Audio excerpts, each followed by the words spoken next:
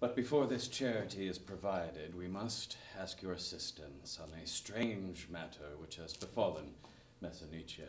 A matter in which only you can be of assistance. The honor of his house is at stake. How can I help?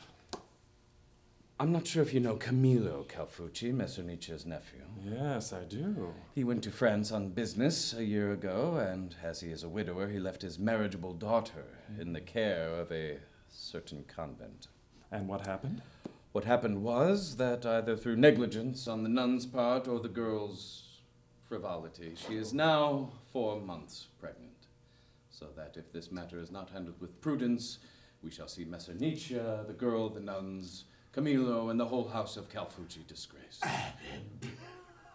Messer Nicia is so apprehensive about this matter that he has vowed to give 300 ducats for the love of God if this matter is dealt with. That will be the day. Will you be quiet? Hmm.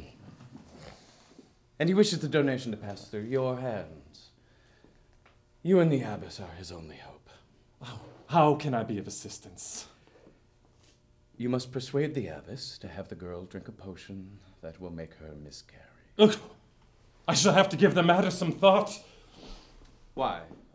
Do you need to? Think of all the good that will arise out of this.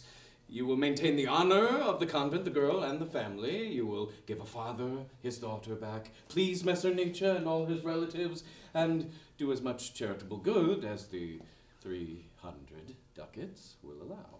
And all the while you shall harm nothing but a bit of unborn, unfeeling flesh that could be eliminated in a thousand different ways.